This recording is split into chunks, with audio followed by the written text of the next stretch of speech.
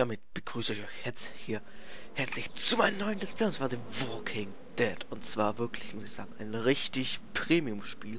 Da ich mir jetzt vor ein paar Tagen gekauft, auch schon durchgespielt. Und ja, wie gesagt, die Abstimmung hat ergeben. Ja, Abstimmung in Anführungszeichen, sag ich mal. Es hat sich ja nur einer gemeldet. Ähm, ja, erst Walking Dead, dann äh, Mafia, glaube ich, und dann Hitman. Ich bin mir jetzt nicht sicher die Reihenfolge. Sekunde, ich gucke kurz nach. Ich habe doch alles an meinem Handy. Ähm, Und zwar... Genau, also spielen wir jetzt erst The Walking Dead, nachdem wir The Walking Dead gespielt haben, kommt Mafia 2 und danach Hitman Absolution. Ja, hoffe ich, gefällt euch diese Reihenfolge, weil ich danach weiß ich noch nicht so genau, aber ich denke mal, das wird jetzt alles ein bisschen dauern, bis ich diese Projekte soweit habe. Und ja, wir klicken mal um fortzufahren. Und die Verbindung untergestellt. Oh Gott, das ist richtig spannend. Ich muss sagen, also wirklich ein Premium-Spiel, was Telltale Games da gemacht hat. Das ist echt Hammer, das Spiel. Das muss man einfach sagen. So, ich werde ein neues Spiel erstellen. Wie gesagt, ich habe das schon mal durchgespielt und ja, neues Spiel.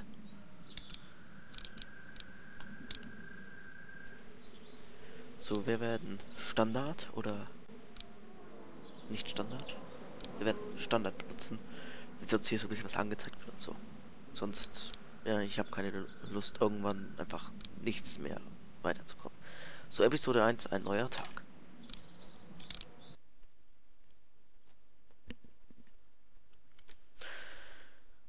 Mal gucken. Jo, okay. Sowieso bestes Feature. Na, okay, nicht bestes. Ziemlich gutes. Was war das Beste? Ach, ich weiß nicht.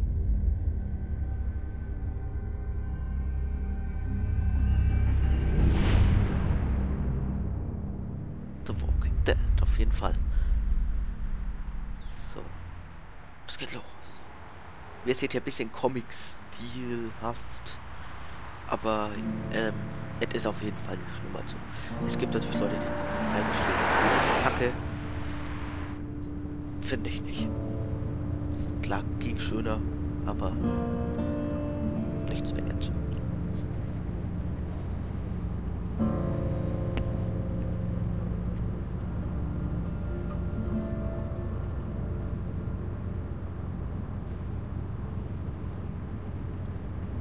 Well, I reckon you didn't do it then. Habe ich's getan. Ähm.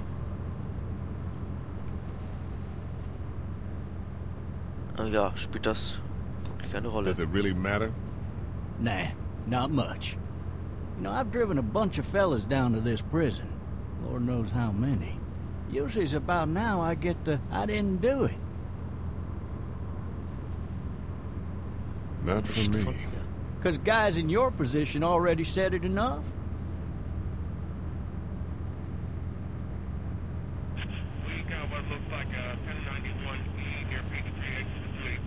Zuschauen, rausschauen.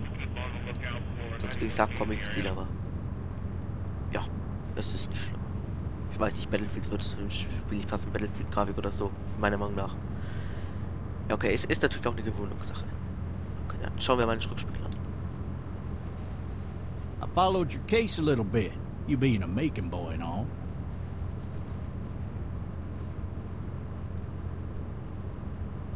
What do you think? I'm just glad I chose law and not order. Big messy trial like that, even if you was innocent, a lot of what happened can't ever be undone.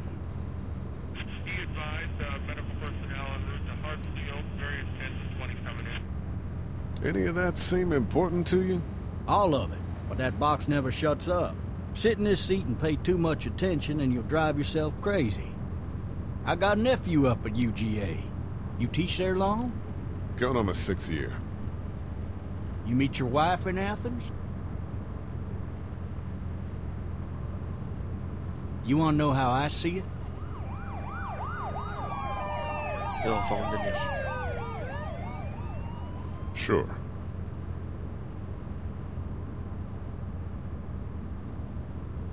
Yeah, dann halten Regardless, could oh, be you just married the wrong woman.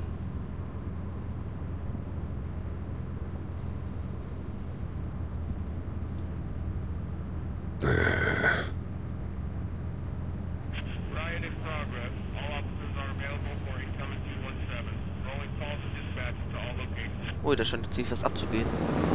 In Atlanta ist das, glaube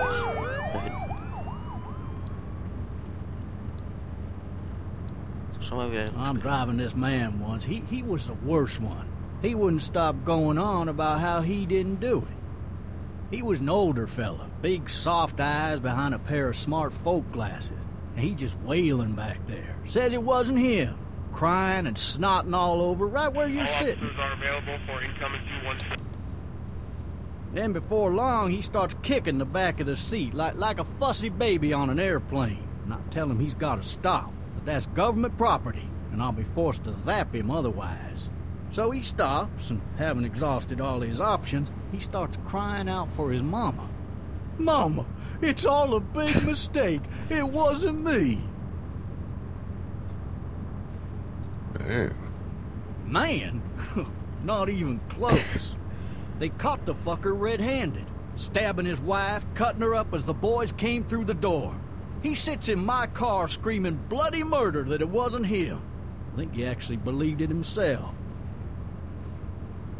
It goes to show, people will up and go mad when they believe their life is over. I got another good one for you. This one's a little bit less depressing and a bit more hilarious, if I do say so. Oh, shit! This other time, Ähm.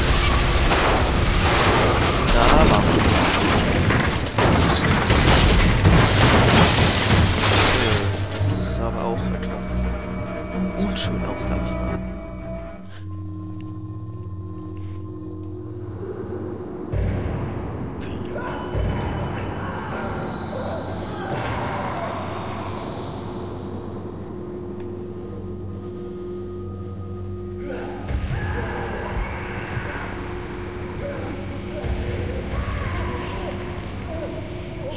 Angeschlagen.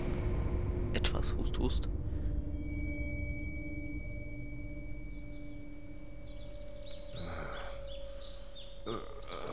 oh, shit. Thirsty. Ah, Nicht die beste Situation, leg.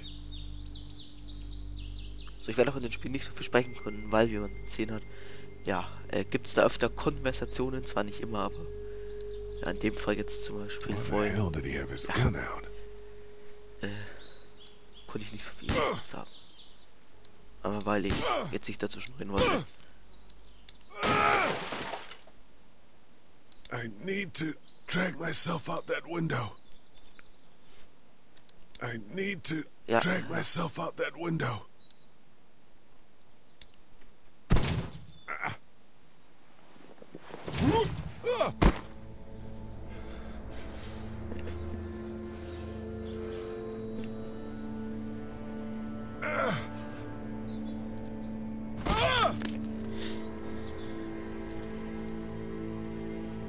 So, bevor es aber weitergeht, muss ich mal kurz checken, ob alles mit dem Sound passt. Da bin ich mir nicht so sicher und ja, bin gleich wieder da. So, ich habe den Sound jetzt nochmal eins runtergestellt. Jetzt dürfte alles passen, hat schon vorher gepasst, aber nicht, dass es dann doch irgendwann mal zu laut ist. Also fast gepasst, sagen wir mal. Äh, das sieht schlecht aus für ihn.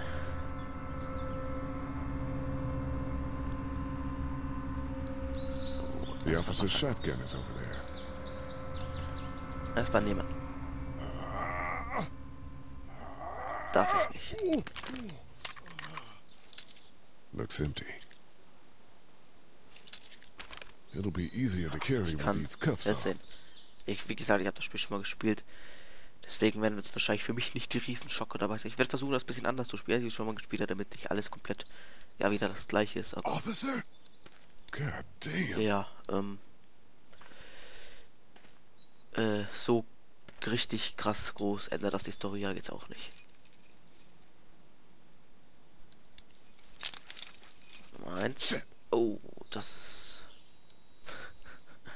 Für jeden, der The Walking Dead kennt, weiß, dass jetzt die ziemlich blöde Situation ist.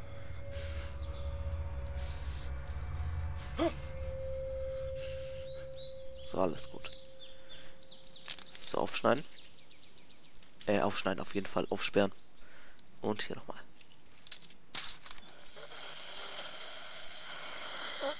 Officer?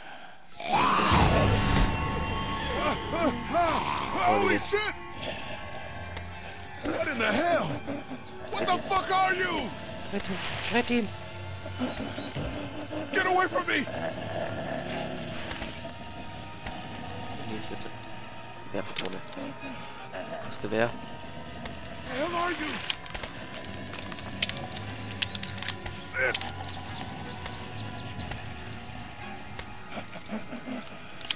So, rein damit, rein damit, rein damit. Don't make me do this! Ich würde sagen, ich habe getroffen.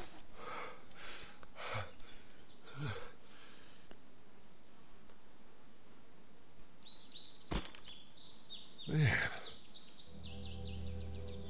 Hui. skin's all rotten and he smells like shit. What the hell is this? Da ist eine geheimnisvolle Figur. Go get someone! There, there's been a shooting! Genau, eine Schießerei. Das Auto ist bestimmt dank der Schießerei kaputt gegangen. Ähm, ja. Ähm. Das hört sich schlecht an. Das ist schlecht. Gott.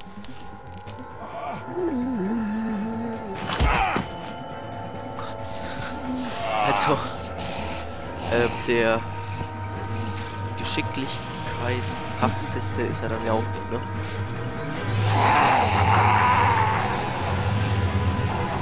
Freilich. Komm schon. Also noch gutes Bein. Ist jetzt noch hingefallen. Sag ich doch.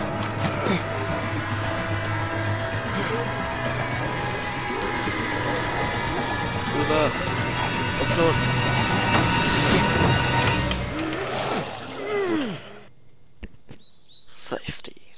Fast. Na, jetzt haben wir abgelöst, kann man nicht sagen. Sicher. Aber einigermaßen.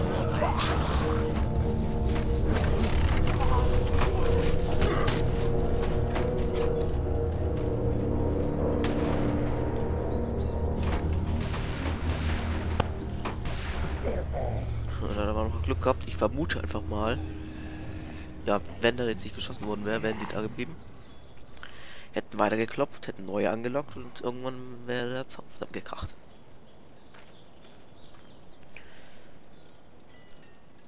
Ja, ein bisschen Hello? Anybody? bei dem Haus. Erstmal reingehen. I wonder if anybody's home.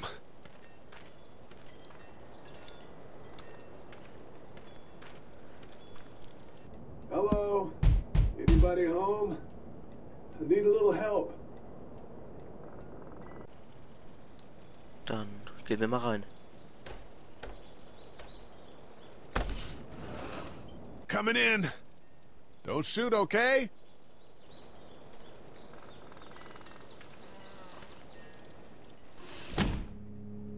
Ah! Hello? I'm not an intruder. Or one of them. Sieht nicht gut aus, hier würde ich mal sagen. These people might need more help than I do. Ein Malbuch mit einem Einhorn. Auf jeden Fall.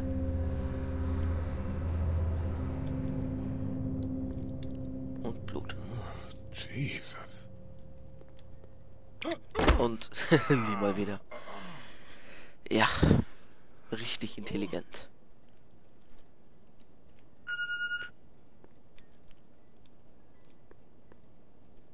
Um,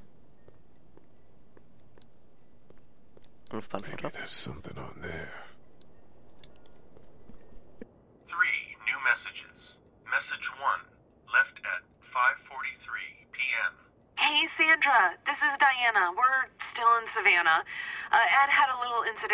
Crazy guy near the hotel, so we had to get him back to the ER and have it checked out. Anyway, he's not feeling well enough to drive back tonight, so we're staying an extra day.